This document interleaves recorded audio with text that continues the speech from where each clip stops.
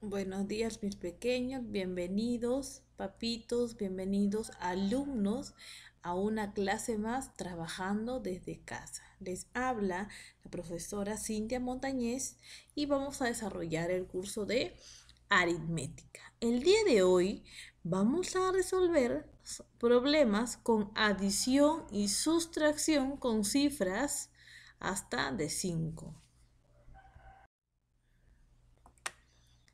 Muy bien, chicos. A ver, para nosotros poder resolver problemas de adición y sustracción, vamos a aprender, ¿ya? Y vamos a ver algunos procedimientos y estrategias que nos van a ayudar a poder resolver más rápido y de una forma eficaz los problemas. Por ejemplo, tenemos en la primera estrategia nos dice, debemos de primero comprender, ¿no? Aquí debemos de resaltar todos los datos significativos del problema que nos están dando, ¿ya? Luego tenemos que pensar, tenemos que analizar, tenemos que razonar, ¿ya? Y debemos de analizar el problema. Aquí debemos de preguntarnos qué es lo que nos están proponiendo. ¿Ya? Y también qué es lo que nosotros tenemos que hallar, lo que tenemos que buscar, ¿ya? Luego vamos a encontrar también el tercero que es ejecutar. ¿Ya? En ejecutar nosotros tenemos que operar, ver, ¿ya? ¿Qué operaciones vamos a realizar? ¿No?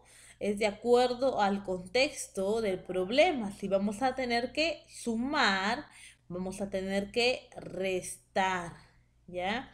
Aquí debemos de encontrar la relación, ¿ya? Entre los datos, ya que nos están dando del problema y también sobre el objetivo, ¿ya?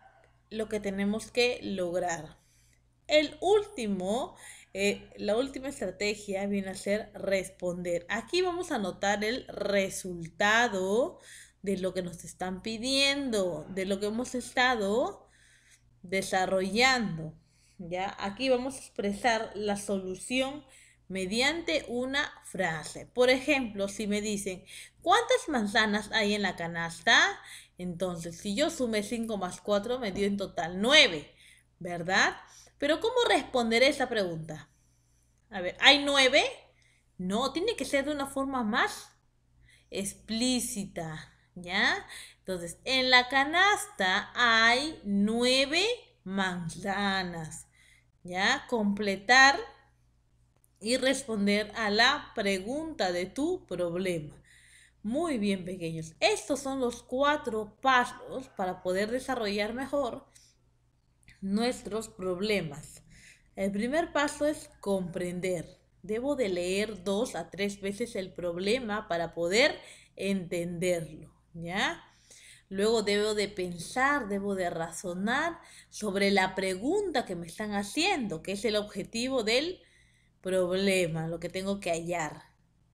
Luego el tercer paso es ejecutar. Debo de decidir qué operación utilizaré, adición o sustracción, y cuándo debe ser adición y cuándo debe de ser sustracción. Muy bien, para ello tienes que darte cuenta. Por ejemplo, si en un problema te dice, María compró 10 manzanas, ¿no? Y Renato le regaló dos manzanas más. Entonces, a ver, si María tenía 10 y le regalaron, cuando tú regalas algo, ¿le estás aumentando o le estás disminuyendo? A María le está aumentando, ¿verdad? Ahora, si a mí me dijera le están quitando, yo restaría. Pero como la pregunta le dice, entonces, ¿cuántas manzanas en total tiene María? A ver si ella tenía 10 manzanas y le regalaron dos más. ¿Cuántos tendrá? 12. Correcto. Entonces tenemos que darnos cuenta también en las palabras que utilizan, en los enunciados. A ver, para poder darnos cuenta si está aumentando, si está disminuyendo. Ya, si le están agregando o le están quitando.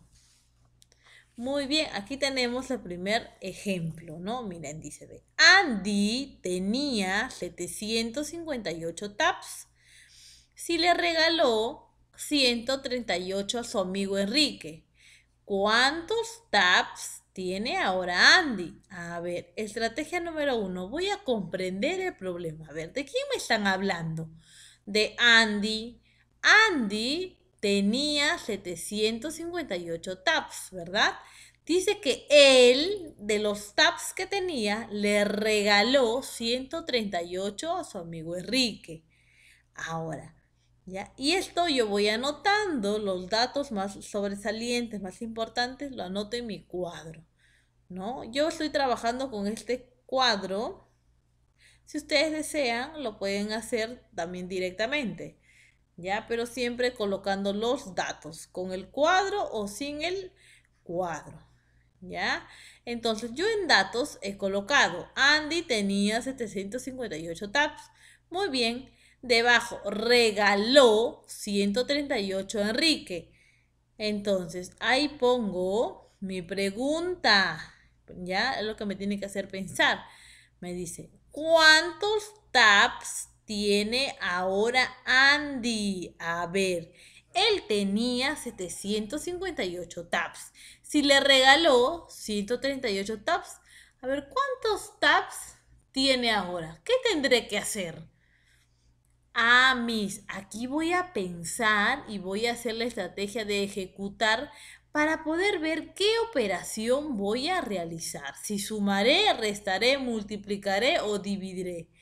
A ver, mis, si me están diciendo que él tenía una cantidad y al regalarlo, ¿no? Disminuyó su cantidad, entonces, ¿qué haré?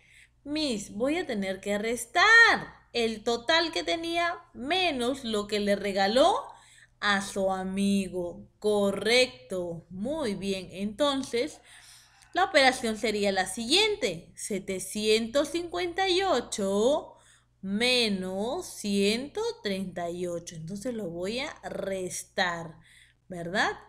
Resto unidades. 8 menos 8 es igual a 0. Si tengo 5 unidades y le quito 3, me quedan 2.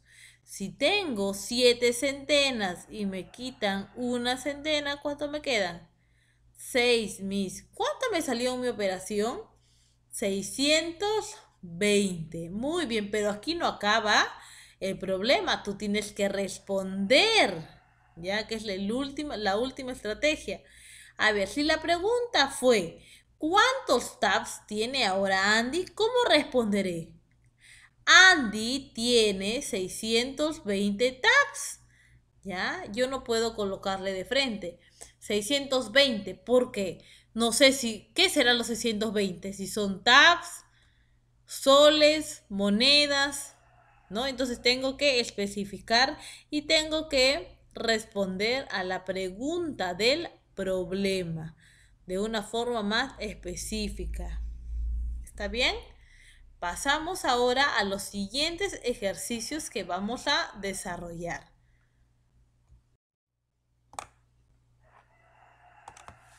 Muy bien, ahora Ejercicio número uno. Escucha atentamente.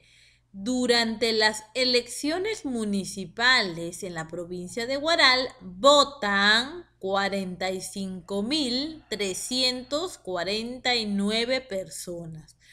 Si de ellos 29.789 son hombres, ¿cuántas mujeres votaron? A ver nos dice que hubo elecciones en Guaral, ¿verdad? Dice que ellas han votado 45.349 personas. ¿Ya? Si de ellos, de esa cantidad total, ¿ya? 29.789 son hombres, ¿cuántos serán mujeres? ¿Verdad? Muy bien, mis, empiezo a rellenar mi cuadrito de datos. ¿no? En datos voy a anotar y voy a escribir, ¿no?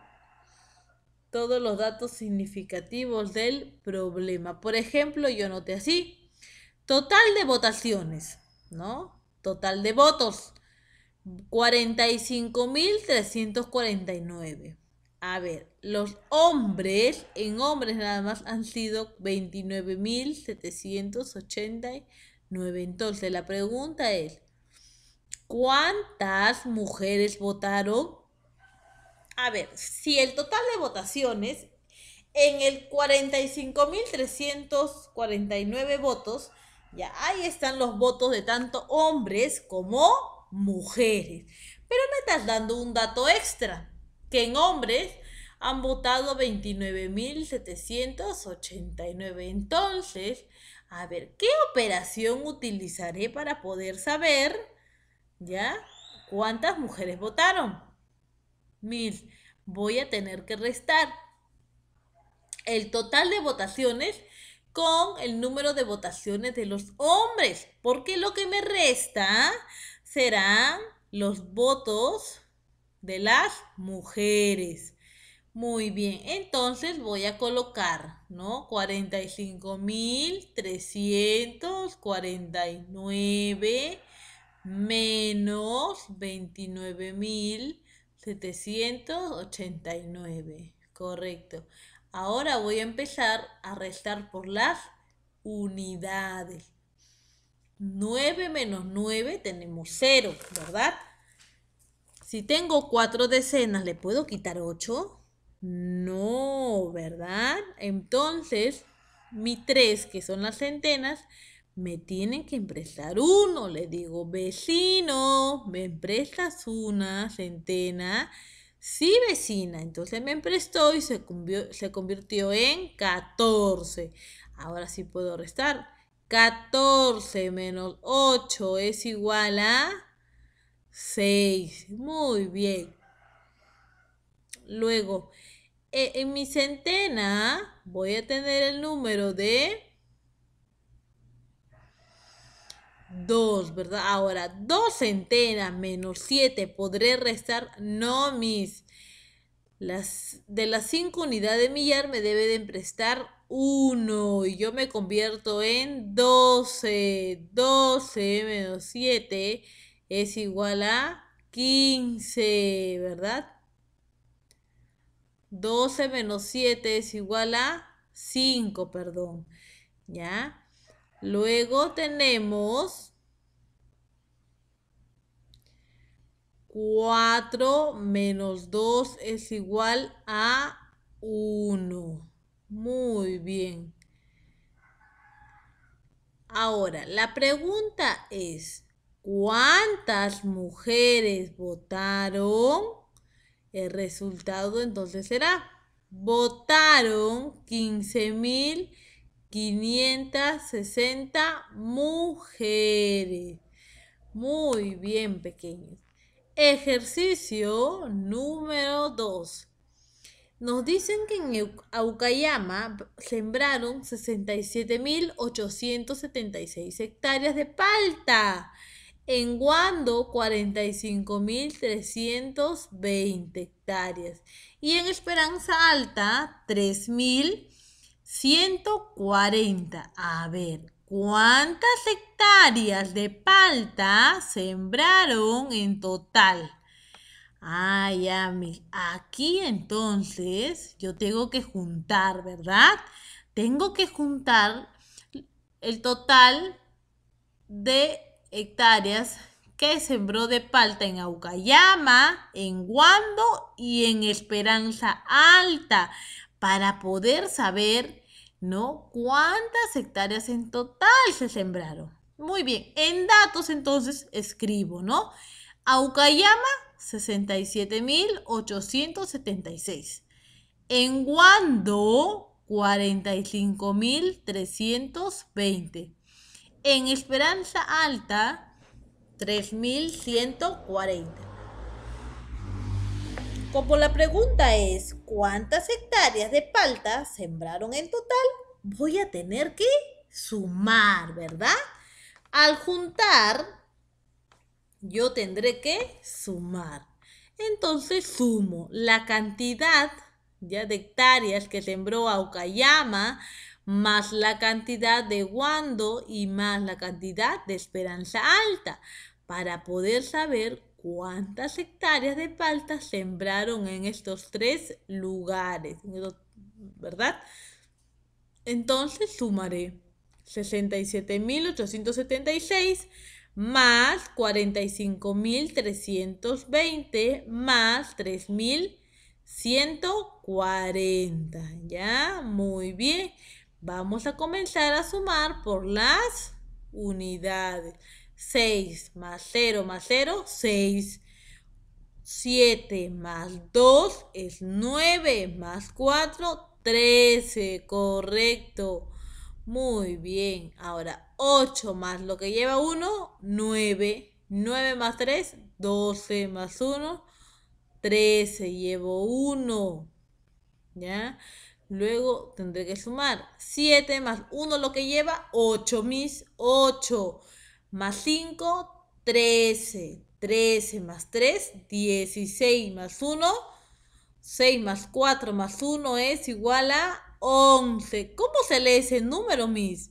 Tiene seis cifras. Se lee 116.336. ¿No? Y ahora voy a tener que responder. Si mi pregunta es, ¿cuántas hectáreas de palta sembraron en total? Yo responderé, en total sembraron 116.336 hectáreas de palta.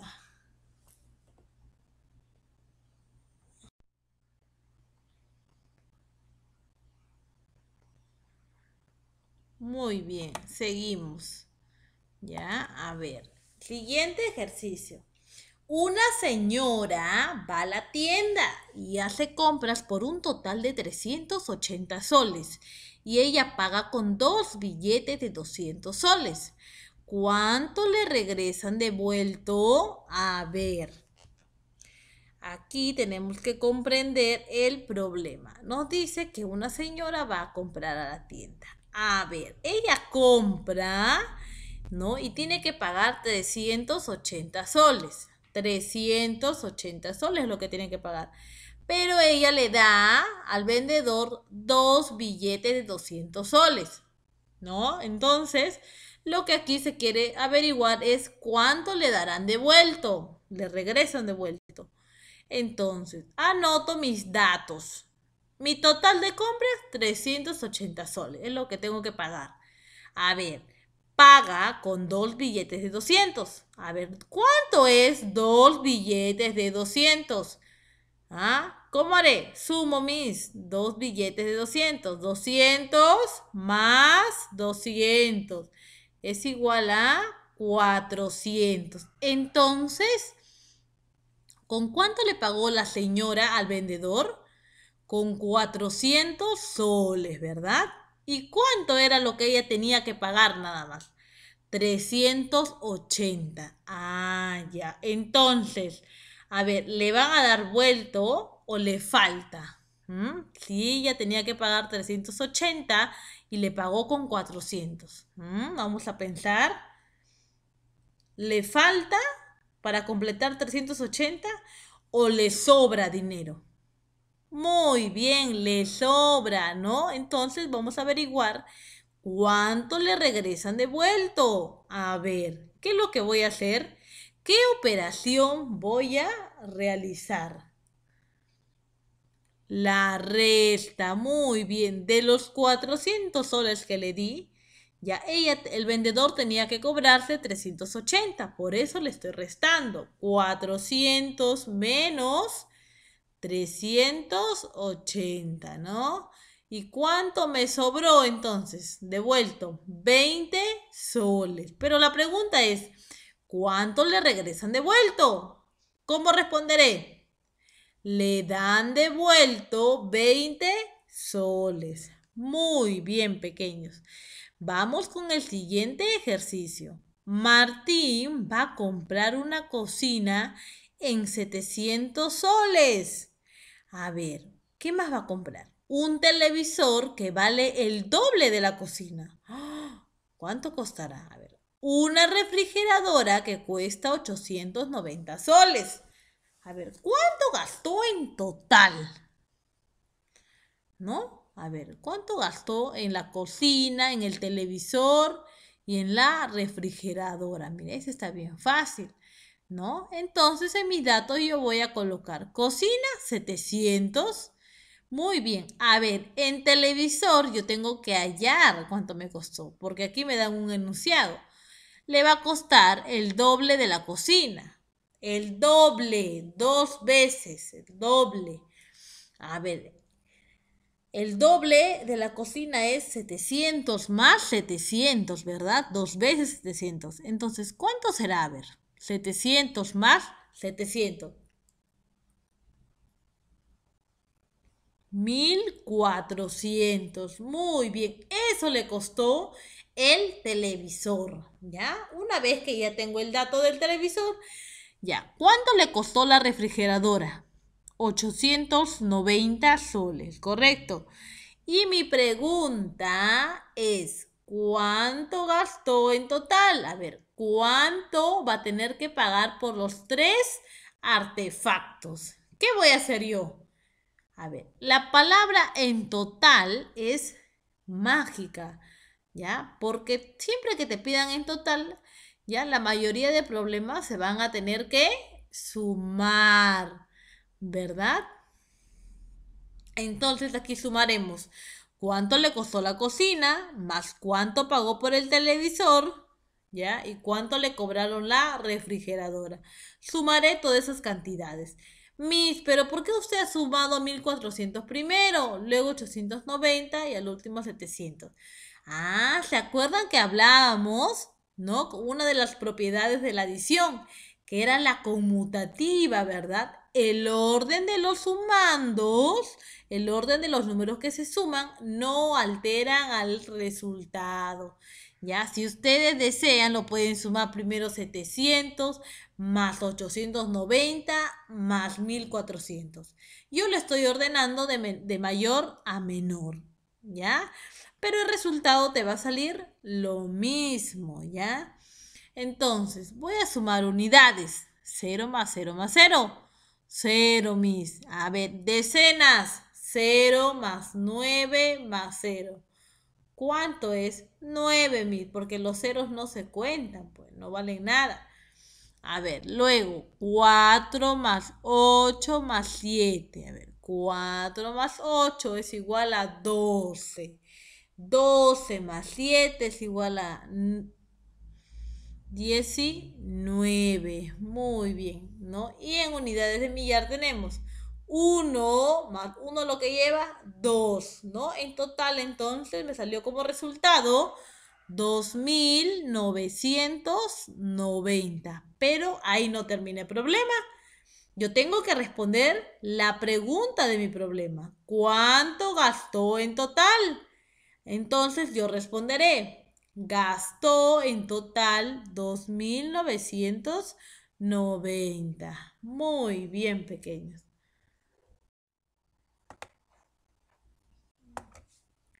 Seguimos. Siguiente problema. En Guaral, dice, recibió en el mes de mayo 2.259 turistas y en junio 1.700. ¿Cuántos turistas visitaron mayo y junio? A ver, nos dice que en Guaral vinieron unos turistas en el mes de mayo. Fueron 2.259. Y en junio también vinieron los turistas. ¿Cuántos fueron? 1.700.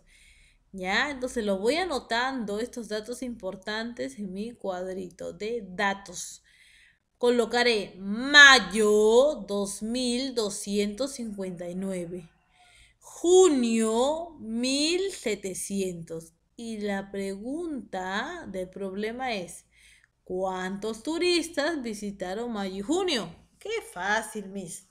Si mayo fue 2259 y junio 1700, entonces en operación yo tendré que sumar, mis.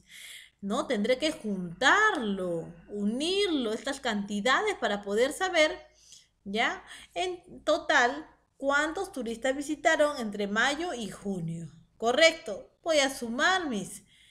Sumaré unidades. 9 más 0, 9.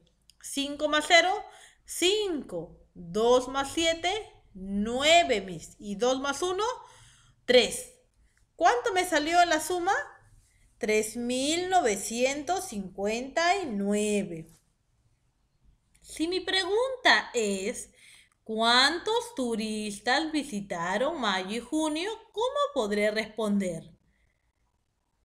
Visitaron en total 3.959 turistas, ¿ya? Ahí lo van a tener que completar, por favor. Turistas, siempre hay que ser más específicos, ¿ya?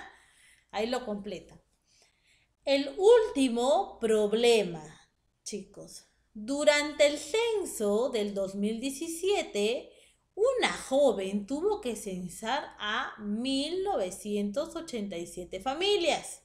Si ya ha censado a 558 familias, ¿cuántas familias le faltan por censar? A ver, voy a comprender, voy a analizar, voy a pensar sobre qué es lo que me está explicando el problema, ¿no? Nos habla de una joven que tiene que censar a 1987 familias, pero ella ya ha censado a una cantidad de 558 familias, ¿no? Llegó llegó al total que es 1987 o le falta o ya sobrepasó. No, Miss, le faltan todavía poder censar a más familias para poder llegar a completar los 1989 familias, ¿verdad? Entonces, eso lo voy a tener que anotar en mis datos. Tuvo que censar 1987 familias. Ya censó, dice, a 558. Luego, ¿cuántas familias le faltan por censar? En operación, entonces, ¿qué tendremos que hacer? Mis, vamos a tener que restar el total de familias que tiene que censar la joven menos lo que ya censó para poder saber cuántas familias le van a faltan censar todavía. Ya, me vamos a ayudarle entonces a la joven. Voy a restar 1987 menos 558. ¿Ya? ¿Y cuánto me sale de resultado? Mis, me sale 1429. Muy bien. ¿Cuál es la pregunta de tu problema? ¿Cuántas familias le faltan por censar? ¿Y cómo vas a responder? Le faltan por censar 1429 familias. Muy bien, Nos vemos en la próxima clase. Cuídense mucho, les, envío un abrazo virtual.